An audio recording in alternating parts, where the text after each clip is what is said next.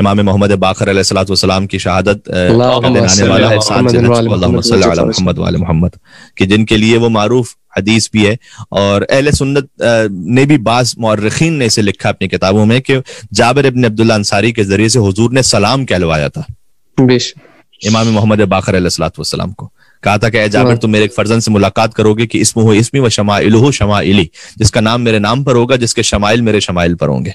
और जब तुम उससे मुलाकात करो तो मेरा सलाम उस तक पहुँचा देना सोचने की बात यह है कि जिस तक हजूर सलाम पहुंचाएँ वाले सलाम नहीं होगा तो फिर और क्या होगा वाह वाह वाह वाह वाह वाह वाह वाह वाह वाह बहुत सादा सी बात जिस तक हुजूर सलाम मिलकर सलावत भेजते नाम इमाम मोहम्मद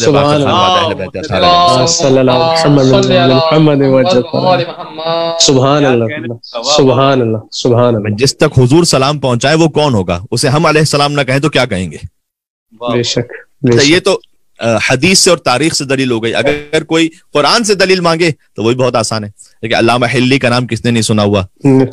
आठवीं सदी हिजरी के अवाइल में शाह खुदा बंदा जो ईरान का सुन्नी मज़हब जो है वो बादशाह था। तो अल्लामा हिल्ली के ज़बरदस्त मुनाजरों की वजह से वो शिया हुआ और उसने मज़हब जाफरी को कानूनी तौर पर कबूल किया और ऐलान किया और जिसकी वजह से पूरा ईरान उसमें शिया मज़हब राइज हुआ।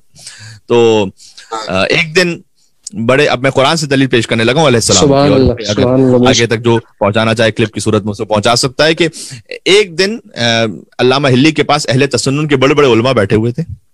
और अल्लामा हिल्ली भी शाह की दावत पर वहाँ मौजूद थे तो उस बज्म में एक मुनाजराना कैफियत तारी हो गई और मुनाजरे होने लगे मुख्तलिफ़ मौजूद पर। तो अहल सुन्नत के एक बड़े आलिम थे जिनका नाम था सैयद मूसली। अच्छा थे सैयद।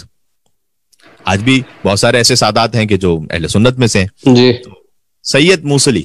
तो अल्लामा हिल्ली से उन्होंने कहा कि पैगंबर रकम सल्लल्लाहु अलैहि वसल्लम के अलावा दूसरे जो अफराद हैं यानी इशारा था आयम की तरफ़ उन पर सलवात भेजने का क्या जवाब है आपका? उन्हें आप अलैहिस्सलाम क्यों कहते हैं? अब एक तो बात है कि वही तारीख से या हदीस से दलील पेश की जाए लेकिन दलील मुहकम वो होती है कि जो कुरान से पेश की जाए। अल्लामा हिल्ली ने कहा कि इसकी तो कुरानी दलील मौजूद है। कि हम उन्हें अलैहिस्सलाम क्यों कहते हैं? ये आज का मामला नहीं है। ये आज से 700 साल पहले का मामला है। तो अल्लामा हिल्ली ने जब ये कहा कि इसकी कुरानी दलील मौजूद है तो सैयद मुसली ने कहा कि इसकी कौन सी कुरानी दलील है कि आप अपने आयमा को अलैहिस्सलाम कहते हैं? तो अल्लाह हिल्ली ने सूर्य बकरा की आयत पढ़ी, बहुत गौर फरमाइएगा। खौफ वल जूअ व अमवाल वल अनफुस व थमरात व इदा असाबतहुम मुसीबा कालू इन्ना लिल्लाहि व इन्ना इलैहि राजिऊन। यहाँ तक मारूफ आयत है। मैं इसका तर्जुमा पहले कर दूँ कि हम यकीनन तुम्हारा इम्तिहान लेंगे खौफ के ज़रिए से भूख के ज़रिए से जान के खतरे के ज़रिए से अमवाल की कमी के ज़रिए से और खुशखबरी सुना दीजिए ए हबीब सब्र करने वालों को कि जब उन तक कोई मुसीबत आती है अल्लादीन इदा असाबत मुसीबत कालू इन्ना व इन्ना तो ये कह उठते हैं कि हम अल्लाह के लिए हैं और अल्लाह ही की तरफ़ लौट कर जाने वाले हैं। इससे अगली आयत अब। सलावातुम मिन रब्बिहिम व रहमा।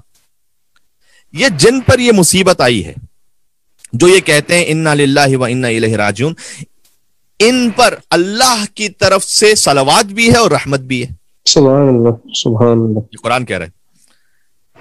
अच्छा जब अल्लाह हिल्ली ने आयत पढ़ी कि खुशखबरी सुना दीजिए सब्र करने वालों को।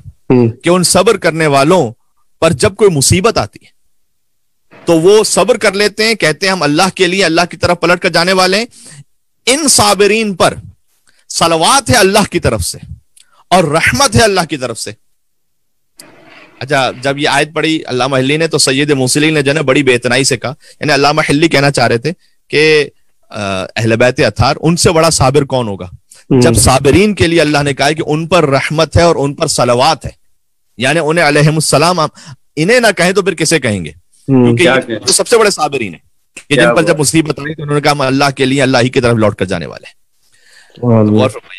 सईद मुसली ने बड़ी बेहतराई से कहा कि अच्छा पैगंबर के अलावा कौन से ऐसे लोग हैं कि जिन पर कोई ऐसी मुसीबत नाजिल हुई हम्म। हो कि तलवात के मुस्तक हैं? तो अल्लाह हिल्ली ने जवाब दिया कि सबसे बड़ी मुसीबत तो यह है कि उनकी नस्ल में एक तेरे जैसा आदमी भी मौजूद है जो मुनाफिकों को आले रसूल पर तरजीह देता है।